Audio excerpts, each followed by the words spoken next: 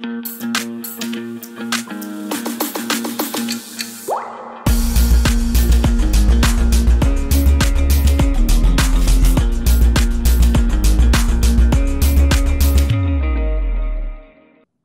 right. So uh, today's session uh, session is going to be titled "Becoming a Pharmacist in the United States of America." Um, today it's uh, it's going to be me. My name is uh, Sam Samour. I'm a pharmacist and board certified in the pharmacotherapy specialty. And you have my email showing on the slide as well in case you had any questions for me personally uh, that's relating to the topic that we'll be discussing today. So in the session today, we'll have a couple of different domains to uh, touch base on.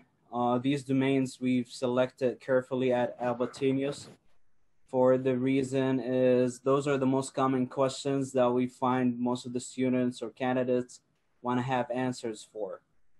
The first discussion and the most common questions that we receive from students across the globe is the pharmacy market in the US. Uh, and obviously for us, we always recommend for the students, uh, since moving to United States for a lot of individuals, it might be a big step, probably one of the biggest steps that they're gonna do in their uh, professional life. We ask them to understand the current trends so now we will go ahead and start looking at a couple of the numbers. Uh, I know that especially across the social media, we have a lot of uh, people, everyone is sharing their own opinion or their own experience. Uh, but for us, we're, we have sources, we have numbers, we have statistics that we believe in. And those are going to be very important because we cannot evaluate or formulate a, an opinion about a, a, certain decision when it comes to your career or professional life based on just emotions and one, or one person's experience. So we access the Occupational Employment and Wages Report. Uh, these uh, statistics are the most up to date. They were launched in 2019 by the US Bureau of Labor Statistics. So the US government have their own bureau or an office that does a lot of the statistics or the numbers that has to do with the job market in United States. So uh, the first thing we want, we're going to discuss based on the information and the number that they provided are the industries with the highest level of employment and the pharmacist occupation.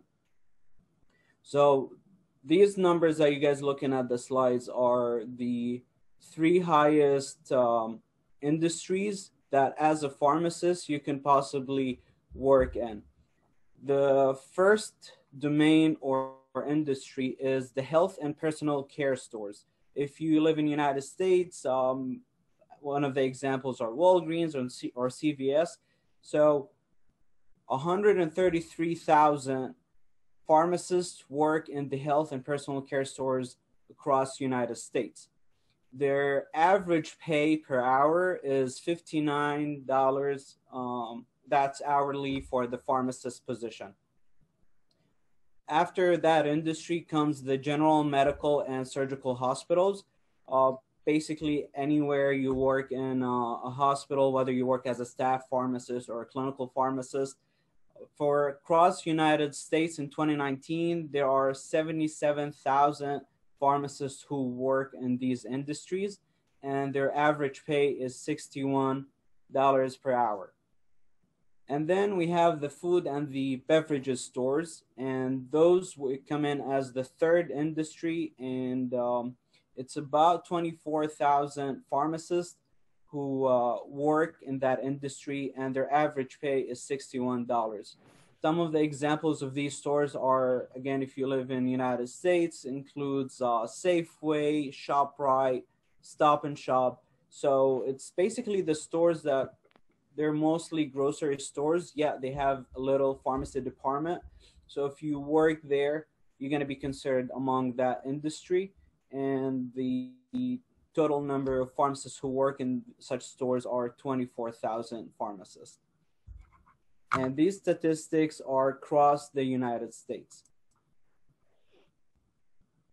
Now, industries with the highest level of employment in the occupation, in terms of uh, a more focused or look at the uh, industries that we've mentioned before.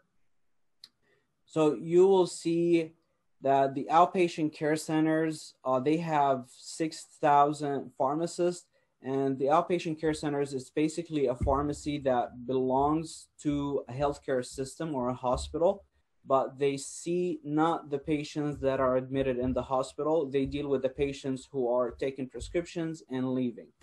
Um, and their average pay is $68 per hour across United States. And then we have the management of companies and enterprises. So pharmacists who work in managerial positions and the bigger corporates uh, in the corporate offices, and that's uh, that's one of the things that we need to understand is you can work, for example, for Walgreens, which is um, a pharmacy store. You can find it on every or almost every corner around the United States. So you you're considered to be um, a retail pharmacist. However, if you work for Walgreens, yeah, you work in an office setting in one of their corporate offices you're going to be considered to be working in a managerial position or in the enterprises. Across the United States, we have almost 2,600 pharmacists, and their average pay is $63 per hour. And again, these numbers are average across the country, so obviously you will see people who might be getting paid a little bit less than these numbers who work in these positions, and you're going to have people who make way more money than that. Now, looking at the geographic profile for this occupation by state, um, we have a full look at the United States and it's divided by states. The four states that we have them highlighted uh, on the map, we have California state, we have Texas, we have New York state, and we have Florida.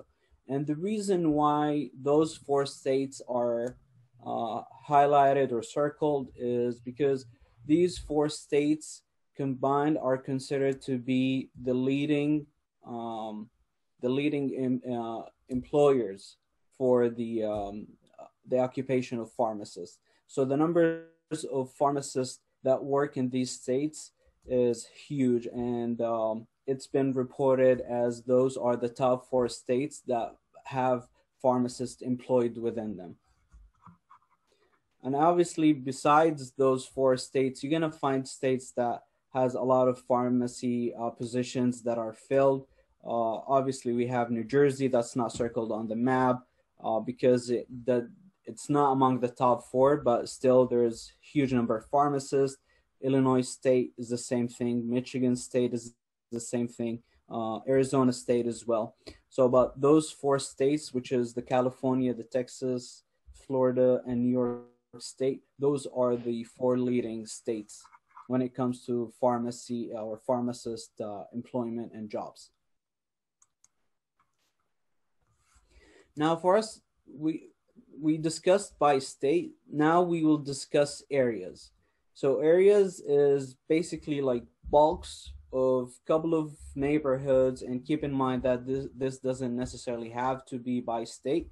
The reason being is, for example, when you look at New York and New Jersey, and even some parts of PA, they're almost within a radius of an hour or two hours, and that's why we uh, we consider them to be one bulk area. So if we look at the map of United States in terms of areas, the leading area that has uh, the majority of pharmacists working in there it's going to be the area of New York, Newark, which is in New Jersey, Jersey City, which is in New Jersey as well. So New York, Newark, Jersey City, um, this area particularly in 2019 they had 21,000 pharmacists working there. Their average uh, uh, pay per hour was $58. Next, we have the Los Angeles, Long Beach, California. The employment in that area alone was 13,000 pharmacists in 2019 and their average pay was $68 per hour. Third, we have the Chicago area in general. We have the Naperville and Indiana and uh, and Wisconsin. So basically, it's an area of a radius of two to three hours. Their employment alone was nine thousand pharmacists, and their uh, average pay per hour was fifty nine dollars per hour. Next, we have the Philadelphia, Camden, and uh, Wilmington. Those, which is basically you're looking at uh, if you if you're familiar with the map of New Jersey and PA, this is technically the southern area of those uh, those states, and uh, their employments was 7,800 uh, pharmacists, and their average pay was uh, sixty dollars per hour. And finally, this uh, the fifth leading area in the states that hire pharmacists is the area of Dallas Fort Worth and Arlington, Texas, and their employment is 6,800, which is 6,800 pharmacists in 2019, and their average pay is 57 uh, dollars per hour. So why did we share the trend with you here?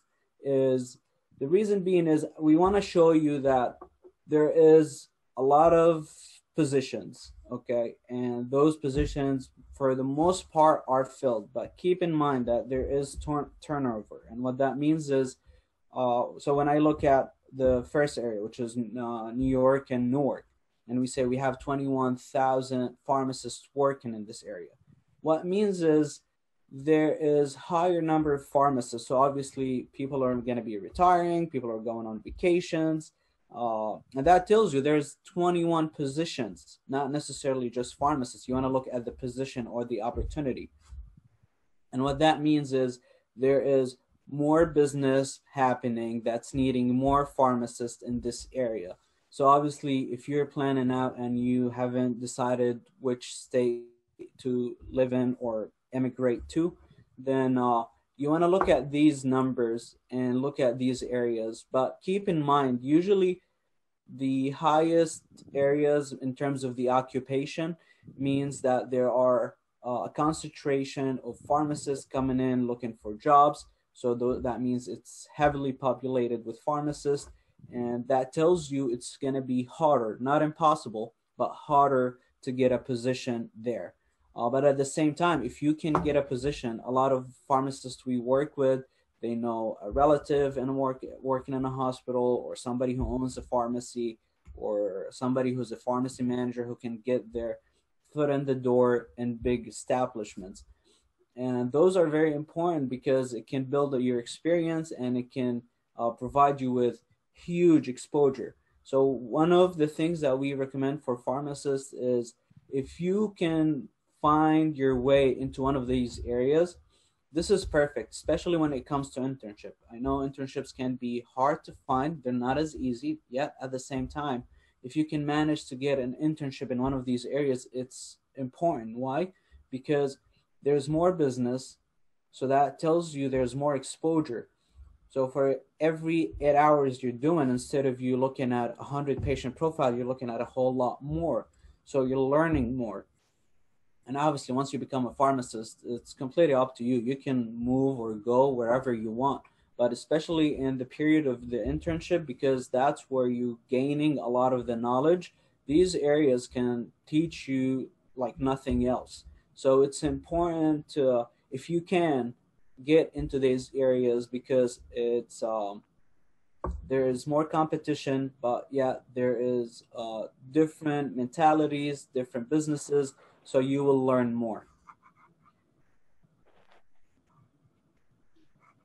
Now, we discussed the positions that are available in the uh, country through different sections and sectors.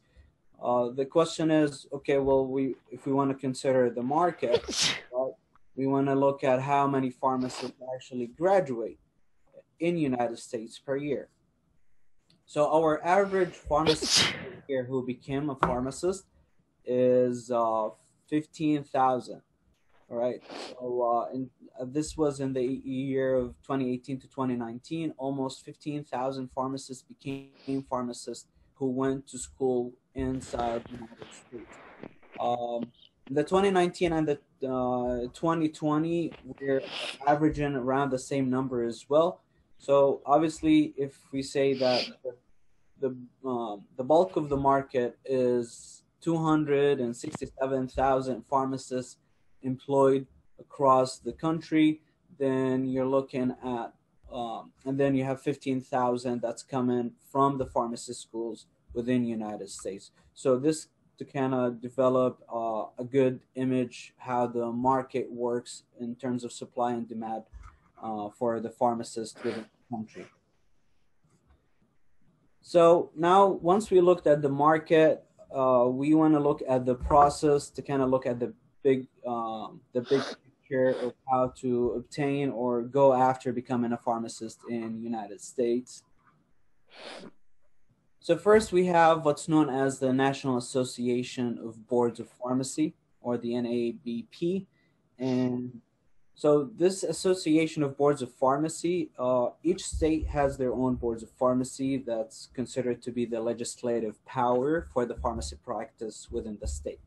It's true we have a federal government, but the federal government, uh, especially when it comes to the pharmacy practice, they have their own laws that you have to uh, you have to follow, but at the same time, each state have their own board of pharmacy that legislate or regulate the pharmacy practice.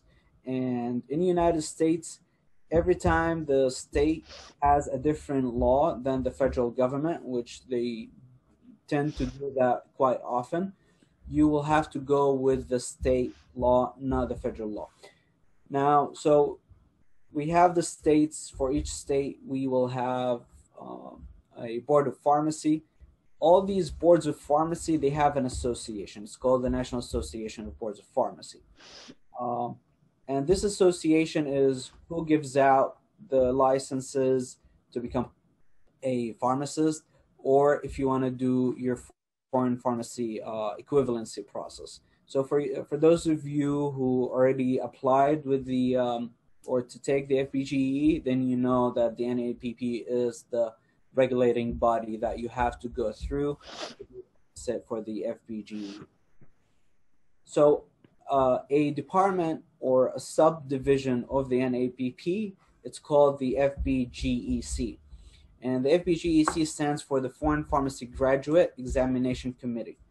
Um, so you go to uh, the NABP and you're basically applying or starting an application with the FPGEC. And that way you evaluate your documents so they can let you sit and take the test that will eventually lead you to becoming a pharmacist uh, in the United States. Now, for you to be able to um, be eligible to take the FPGEE, you have multiple um, requirements that you have to tick off. In terms of the education, so prior to January 1st, 2003, uh, you have to at least completed four-year pharmacy curriculum at the time of the graduation. If you graduated after 2003, then you will have to complete at least a five-year pharmacy curriculum at the time of the graduation one of the most common questions we receive is okay what if i graduated after 2003 but my pharmacy program was four years or i finished in four and a half. So um, it depends. A lot of times if you had if you have masters or you obtained a master's degree after your bachelor's then if it if it has to do with the pharmacy practice or the clinical pharmacy practice then they would let you sit for the FPGEE or if you uh, if it was four and a half years and the reason why it was four and a half years is because you took too many credits during the summer then they might waive it and let you uh, let you go ahead and uh, apply for the FPGEE. Okay, so for next, besides education, uh, you have the license. So you must be licensed in either the country where you have graduated or the country where you were a participating pharmacist. Uh, and that what that means is, So you either have to be show that you've been licensed in the country that you went to school, or if you've been licensed in a different country. Uh, so, for example, let's say you're in terms of nationality, you're, you're Algerian, and you for some reason you went to school in France. So uh, you either have to show them that you went to school in France and you became licensed pharmacist in France, or you went to school in France and you came back to Algeria and then you registered to uh, and became licensed in the as a as a pharmacist in Algeria. Uh, so the bottom line is you have to have a pharmacy or a pharmacist license somewhere before you apply in to become a pharmacist in the United States. Um, the good thing is about the NABP is sometimes if there is um, specific circumstances that stood between you and you becoming a licensed in the country you went to school uh, to become a pharmacist, then they might waive it. But usually these decisions are made on case by case basis. So uh, it's worth the shot to reach out to them to see if uh, if that's something you might be uh, qualified for. And then nowadays, uh, when it comes to TOEFL, so we just received a uh, question um, the chat. So what I'm gonna do now, we will uh, at the, towards the end of our session, we're gonna go ahead and uh, answer all of the questions that you will submit over to us. Um, that way, we just uh, maintain the flow of the uh, of the session. Then I will address as much as I can from the questions you guys send over to us in the chat. Third, which is a new requirement that we have, is uh, the TOEFL. So before 2020, they used to let you take the FPGEE, and the second step is the TOEFL. And the FPGEE and the TOEFL together, it's going to be considered that you have the FPGEC, um, which allows you to become an intern and take your NAPLEX and finish or end the law test and become a pharmacist. However, starting off 2020, it became a requirement to actually pass the TOEFL first, then take the FPGEE.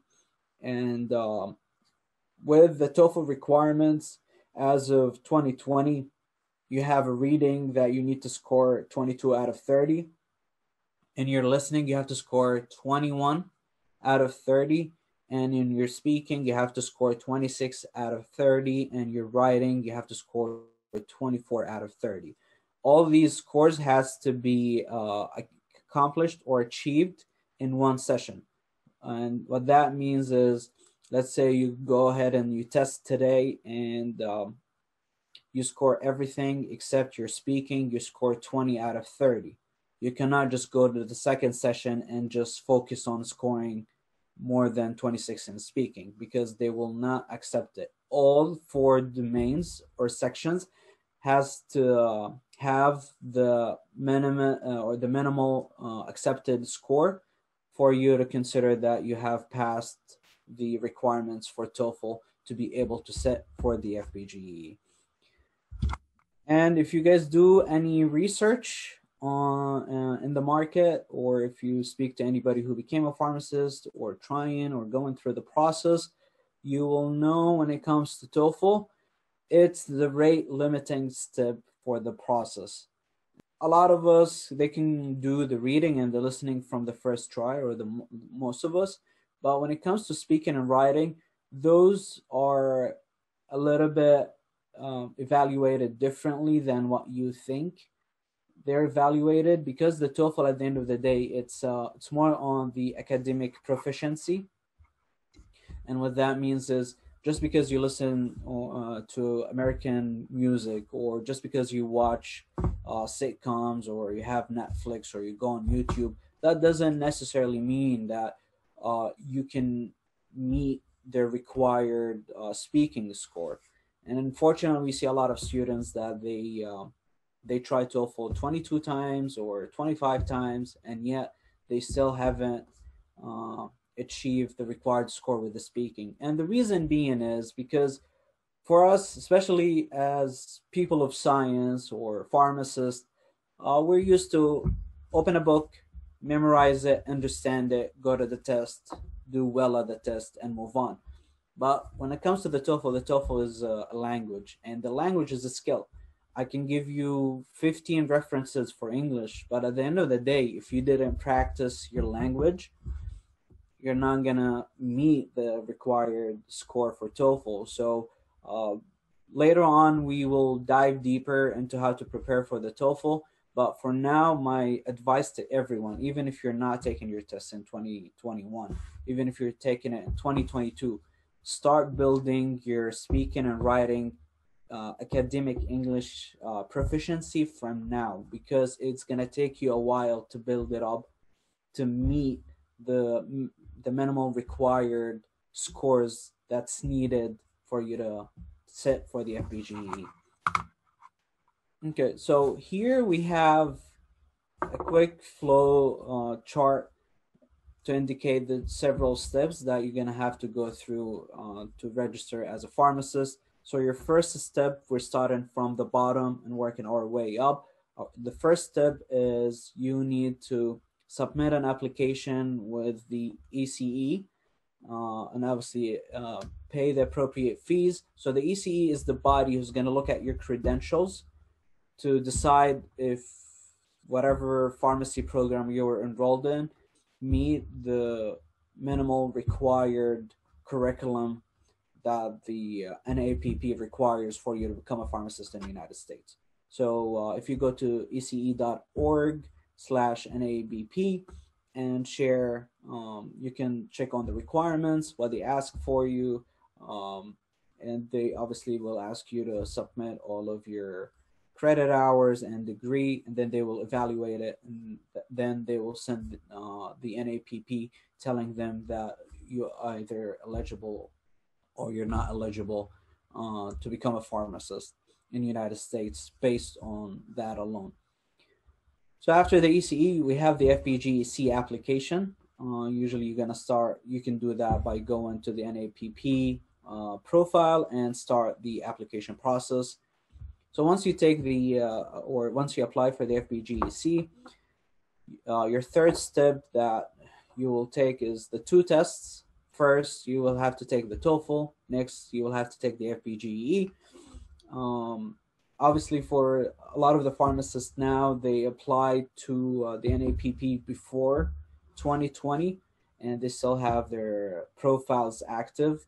So those, they don't have to take the TOEFL first. Uh, but for everyone, for all the newcomers who's gonna who applied after January 1st, then you will have to take the TOEFL, then the FPGEE. And uh, after the third step, the fourth step gets a little bit tricky. So do you guys remember when I said that each state has their own requirements? They have their own boards of pharmacy. They come up with their own regulations. Uh, that's what makes the fourth step a little bit unique. The reason being is some states allow you to start counting your internship hours before you have the FPGEC. And some of them would even let you take the third test, which is the NAPLEX or the law test, before you finish your internship hours. So depending on the state that you decide to go to or you have your mindset to move to, then you will uh, you need to find out what's the plan for them, what they decide on or what's the preferred way of doing things. But the first step combined, you will have to do internship hours. The number of hours, uh, it change. Uh, it's different from one state to another, but the average hours that you need to do as an intern are about 1,200 hours, which is a good six to eight months, depending on how many hours you work per week. A lot of uh, pharmacists who practiced overseas and they come here and then they look at these requirements and they get really mad. Oh, I have to be an intern for six or eight months before I can actually go ahead and become a pharmacist. Um, I had the same mentality when I first started, to be honest. But after I did my internship, the thing that you need to focus on is in the United States things are different. Uh, so no matter how good your school were and no matter where you went to school, they did not teach you how things work in the United States. uh, in the United States, our healthcare is heavily regulated, which means is if you make one mistake, it might cost your license. If you do a thing, it might cost you your employment.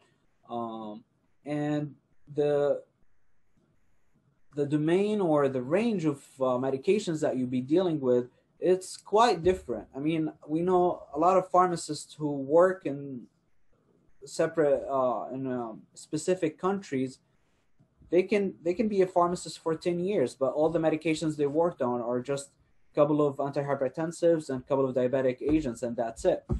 But once you become a pharmacist here you even if you work at walgreens some of the medications you're going to be dealing with are oncology medications uh, aids medications antidepressant medications.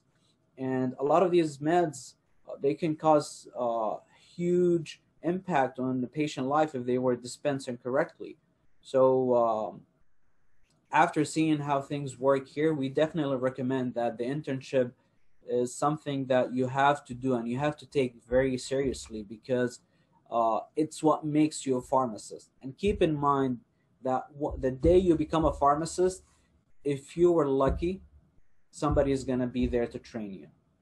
Um, some employers, they might have another pharmacist work with you the first couple of days so you can learn how the system works with it where whatever you work but for the mo- most part once you have your license that you're a pharmacist you're ready to go. So some of the pharmacies i know they start you on day one. Once you um, once you become a pharmacist they interview you they tell you everything is good. Okay start tomorrow. You start tomorrow and you're on your own. So uh, it's important for the internship for you to actually do it. Uh, I know sometimes they say, oh, we'll just find a quiet place where they don't see a lot of prescriptions, so uh, you don't have to work as hard. Well, that's incorrect too. The reason being is the more work you do, the more exposed to things and uh, problems, and you will develop leadership skills, which you are as a pharmacist, especially in, in the United States. Once you stand as a pharmacist in the pharmacy, you're going to be considered to be a leader. If anyone have an issue, they will ask about a pharmacy manager or a pharmacist. So if the pharmacy manager is not working that day, guess what? You're gonna have to deal with the issue. And that's why as an intern, you will have to take it very seriously. After the internship, we have the NAPLEX, which is uh, the clinical science of pharmacy. Um, and then we have the uh, multi-jurisdiction exam, and that's or the law test. Um, or the MP, uh, MPJE. Uh, so again, United States is very regulated when it comes to healthcare. So one of the things that you have to pass is the specific state's law when it comes to pharmacy practice. So you will not only need to do or know the clinical aspects of things, you need to know management, you need to know healthcare, how healthcare system works in general, and you need to know the law behind the practice of pharmacy because you need to know how uh, how can you break the law and you want to avoid that the things that you're not supposed to do the things that you can do how to help the patient within the uh, power that you were given by the state board of pharmacy so this are the four steps that if you start from bottom to the way up uh, usually, in average, it takes about 18 months to two years, depending on how well you can do things and how well you're prepared. Um, and then you become a pharmacist in the United States. Third, we will go uh, over how to study and how to have a plan to target each step of the way. So, uh, just disclaimer in today's session, we're not diving deep on how to study. We will just go in over a couple of uh, quick bullet points and that way uh, we make things easier for you and hopefully later on we will have the time to dive in deeper so we have TOEFL, FPGEE, and third we have NAPLEX. The reason why I'm not discussing law tests because each state is different, and uh, if we will have if we're gonna speak about every state, then it's gonna take us a couple of months the first step is the TOEFL. So as I said, TOEFL TOEFL is a language. A language means it's a skill, and skill needs time for it to be built up. Um, so the first thing you want to focus on, no matter whatever reference you use when it comes to the TOEFL, you want to practice. So again, whether you study from YouTube, a 10 year old book that you found on somebody's shelf, or you found in a library, or you're following a specific tutor on social media, or you're going to language centers in your school. You want to make sure that you practice. And by practice, I mean you practice in listening, reading, speaking, and writing. Uh, don't just read things and assume things are good. No, you want to practice everything. And then the next step is you want to assess. And what I mean by assess, you want to evaluate. So your assessment is not by taking a couple of multi-choice questions and free quizzes online and assume, oh, I'm doing well because I'm passing these quizzes. No, because the speaking and the writing it's basically you're being evaluated how you speak and how you write. And the only way for you to be assessing your level uh, is when it comes to speaking, you want to listen to yourself speaking, you want to record yourself. After you record yourself, listen again, evaluate how can you improve uh, the flow of ideas, how you say things, the pronunciation, and take notes of those and then target them individually and spend more time on your weakness points. And the third step is the improve. So let's say your level is here. You want to set up a plan to get a little bit better and better and better. Um, and then you want to have faith. Have faith in that the fact that you can improve. Some, unfortunately, some pharmacists they just give up after a couple of times of them trying to pass TOEFL. They just give up and go back to school to become a physician assistant in the United States, or they just settle to become a pharmacy technicians. Um, just have a faith in the process. Again, it's going to take time for you if your level is not already enough to uh, ha- have you accomplish the required score. Uh, just have faith in it. In that way, uh, the more you work, the better you will see improvements, and hopefully, you will achieve your goal when it comes to TOEFL. A quick inf- uh, quick discussion point is a lot of pharmacists we speak with they're always upset and mad why they're asking for TOEFL. It's English. What does this has to do with pharmacy? Well, think of it. Uh, if you become here, uh, if you come here and you become a pharmacist, you're standing behind the counter. P- uh, patients, people, they're trusting you. They're trusting your scientific status as a pharmacist, and they're trusting you with their health. So the last thing you want to do is not be able to communicate the proper information to a patient just because you have not worked hard to improve your your language. Um, so it's it's important not necessarily just for you to become a pharmacist, but it, it's important for you because once you become a pharmacist, you're going to be put on in a lot of positions where you have to fully express and explain yourself express how uh, medications are going to be taken, uh, express policies, train newcomers, whether they're pharmacy technicians or even managers. Uh, hopefully, in a couple of years, when you become a pharmacist, you're going to take on a leadership position, and then you're going to have to uh, conduct meetings that has 50 people with it. Uh, so obviously, the last thing you want to do is not have a proper English when you're speaking with all these people. Uh, so the next step for the FPGEE the NABP uh, on their website they have a PDF which is basically uh, a blueprint or a comp- what they call a uh, competency statement. So the competency statement indicates specific domains that will ask they will ask you about in the FPGEE, and so what whatever you go and you decide to have as a reference when you're preparing for FPGEE, you want to make sure that all these items that's mentioned in the competency statement blueprint that you actually studied and uh, you feel comfortable or, uh, around. When it comes to the references, FPGEE is uh, quite tricky. And the reason being is the NABP does not guide you to a specific book and tell you, oh, read this book, chapters, those, and you'll be good. Um, why? Because the NABP have what they believe is the domain that every pharmacist needs to know.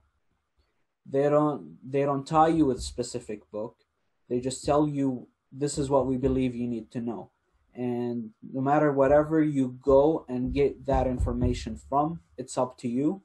Uh, but as long at the end of the day you you know these uh, items in the competency statement the couple of things i want to point out when it comes to references you want to make sure that the reference you're studying is up to date and what i mean by up to date is uh, I bet you now if you go to any uh, social media group and post um, what are the references I need to study for FPGE. The first book they everyone is going to mention is the APHA or the American Pharmacists Association for FPGE. So um, interesting. What's interesting enough about the APHA? There's first edition and the second edition. The the gap between the two was ten years. So up till year nine, if you go on Facebook and you ask what to prepare, you will find students asking you to study APHA, even though APHA has been nine years old. Uh, and obviously, if you guys studied drug information in pharmacy school, you know it's not a really good idea for you to build your knowledge on something that's nine years old. Specifically, where because we work in science, there is uh, breakthroughs in science and research on every given day. And uh, the fact that you think what you studied and has been nine years that it's been out there for, it's not really a good idea for you to focus and think that that should be enough. The next book they will tell you about is the CPR or the, or the Comprehensive Pharmacy Review. The most up to date edition is the eighth edition for the CPR and CPR is um, it's I think it's 10 years old as well. So it's it's really important for you not to dive deep in, for example, into CPR because a lot of the things it's mentioned in CPR uh, it's not become it's not a good pharmacy practice at this moment. Um, it's a great resource. I Have a lot of information. APHA is a great book too, whether it's uh, the uh, first or the second edition. But uh, the APHA is going to just cover a minor bit of the statement that for the competency. It's not going to dive deeper, so don't count on APHA. Don't count. Don't count on the CPR alone. The reason being is they might not cover everything that in 2021 is considered to be the state of the art pharmacy practice in the country. And then uh, for the CPR as well, the CPR is technically was mostly made for NAPLEX, and NAPLEX is the clinical pharmacy. So then the CPR, it's made out of 1,500 pages. Most of these pages are things that you need to know for the FPGE. So just try to focus on what's mentioned in the statement. Obviously, you need the pharmacology. Pharmacology, there's a lot of good books um, out there that can serve that as well and then you have the public health domain and the pharmacoepidemiology and the calculations and the pharmacokinetics. So, especially if you're a fresh graduate, a lot of the notes, a lot of the things you're studying probably now in your pharmacy school, and thinking that those might not be something that you need to know because who used them. Guess what? If you make it to take the FPGE, you're gonna need all these notes. So I'd, uh, especially if you're in your home country at this moment, and once you immigrate to United States, do me a favor. A lot of these notes, either scan them in and take them on a flash drive or actually carry in your notebooks with you because they're to come in very handy once you start preparing for the FPGE. Third is the NAPLEX. Uh, again, the NAPLEX is the clinical portion of your practice as a pharmacist. Uh, and uh, to a lower percentage, they don't focus on as much on the regulatory part or the operational, but you're expected to know. Uh, and what I mean by that is, again, because you become a pharmacist, you're a leader on day one. So you need to know the law. You need to know how to do things and not break any rules. And when it comes to the operation, you want to you you want to have you want to have some sort of understanding of how to do uh, certain things within the operation, uh, whether it has to do with the insurances, uh, claims, um, best practices that's recommended for you to follow while you're working as a pharmacist. And this is a general view. Again, in the next sessions, we will be discussing uh, more in depth about uh, these specific domains. So for the FPGE study plan, um, in general, the first, so if you look at the competency statement, you will see that they have uh, multiple items that you want to pay attention to.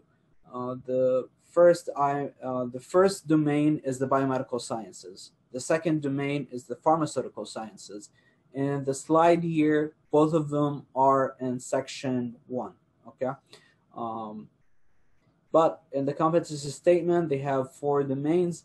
Here, uh, we have we crammed them up in three uh, focus areas for it to be a little bit uh, so it can make sense for you. So in section one, we have the biomedical sciences and the pharmaceutical sciences. So you're looking at everything that has to do with physiology, pathology, uh, the immune system, and then the pharmaceutical sciences, compounding, sterile compounding, uh, medications, side effects, and uh, obviously the competency statement does better description than uh, the description I'm providing here. But all these are considered or consider them to be the, the first section. Next, we have the social, behavioral, and administrative sciences. And third, we have the clinical sciences. And fourth is the review questions. So at Albatenius, this is our study plan. This is how we approach things. Even though in the competency statement, they have four sections, but obviously the review question is not considered among their uh, competency statement. For section number two, which is the social, behavior, and administrative sciences, this is considered to be the trickiest part while you're studying for the FPGE. And why is that? Well, when it comes to the physiology, physiology is the same. Whether you study here, China, Egypt, uh, France, Italy, it's the same thing right? The human body is the same. Somebody finds out, does research, finds something differently, publishes it online. Everyone knows about it. Everyone adapts to that uh, information. So there's nothing really changes, and whatever you call a specific bone, for example, or a disease, whatever you call it in English, you're gonna come here. Most likely, they're gonna call it the same thing. So you're not gonna find challenges in that um, department especially if you're a fresh graduate or you're very, uh, very competent with the science and the knowledge. Then we, with the pharmaceutical sciences, for the most part, it's the pharmacology. Uh, drone is for arrhythmias, whether it's used in Africa, Europe, uh, Asia, or United States. So nothing challenging here either. But um, with the pharmace- pharmaceutical sciences, when it comes to the compounding, it's a little bit different because regardless of how things are done outside the United States, in the United States, they have what's known as the USP, and the USP is uh, the body that has all these regulations on how to do the compounding in the United States. So those might be a little bit different for you.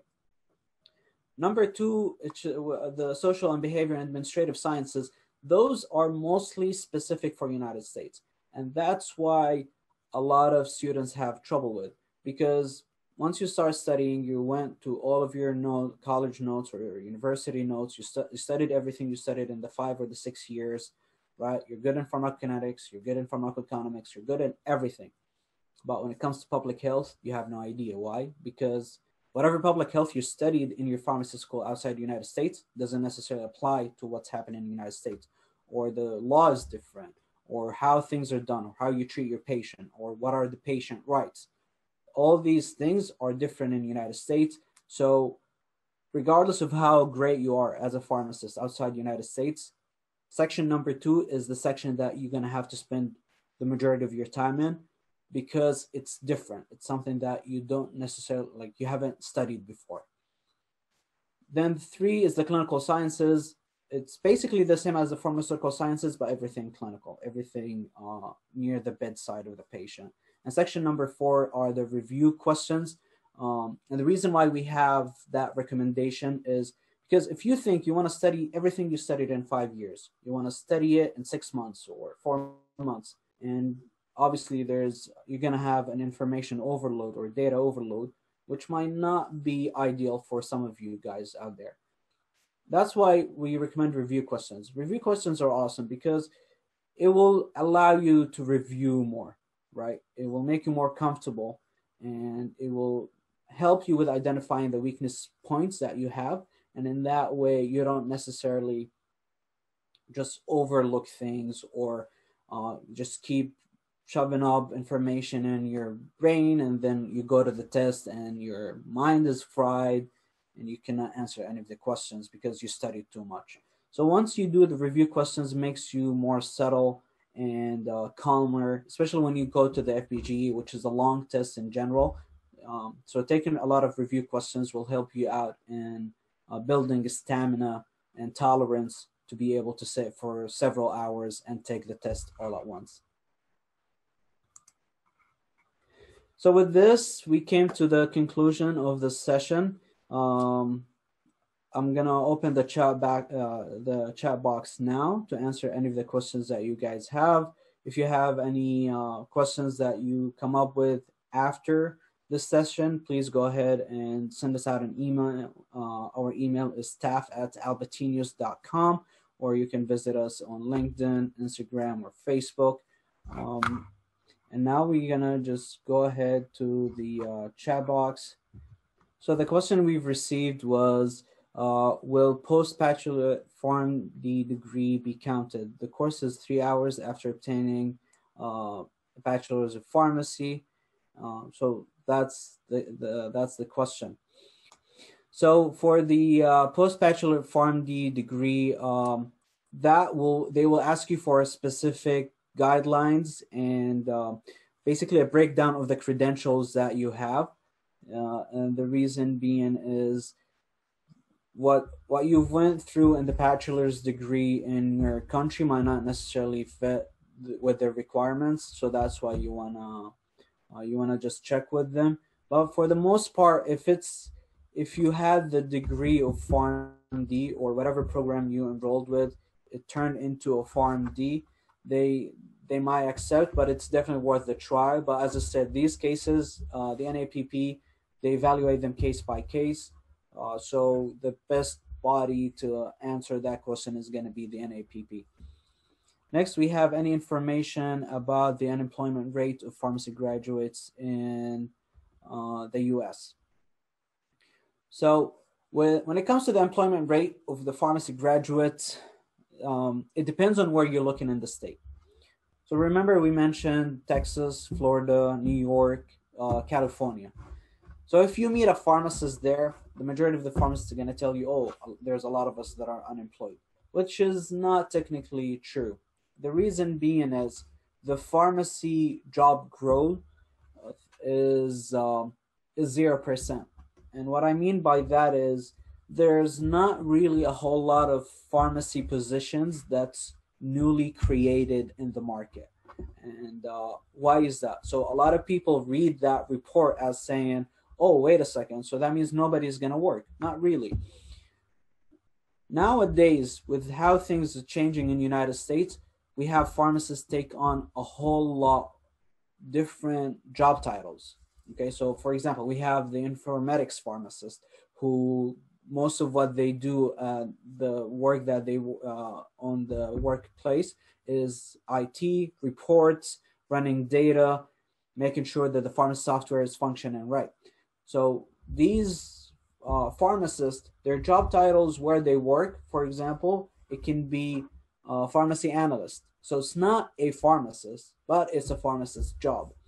So if we look at the job um, the job growth, you're not going to see any growth, but that doesn't mean that there's not opportunities out there. So, but for you as a foreign pharmacy graduate, you want to make sure that you're looking in the right place. For example, Chicago has six different pharmacy schools. Don't expect to go to Chicago and get the a pharmacy job on your first day. I know some pharmacists who have been in Chicago for a year and they still couldn't find a job. Why? Because the area of Chicago has six different pharmacy schools. So these schools give out to the employers enough the, uh, supply of pharmacists. So you standing trying to uh, battle up with people who've been going to pharmacy school in the United States, it's hard. But that doesn't necessarily mean that instead of you looking in Chicago, going somewhere in South Illinois and not finding a job. So you want to be aware uh, of where you're specifically looking. Uh, okay, so we don't have any further questions for now. Uh, again, if you have any questions after we finish the session, please go ahead and uh, send us an email to staff at albatenius.com. Uh, we'll hope you guys enjoy uh, a good week ahead of you. And uh, thank you for um, joining me today. Have a good day, everyone.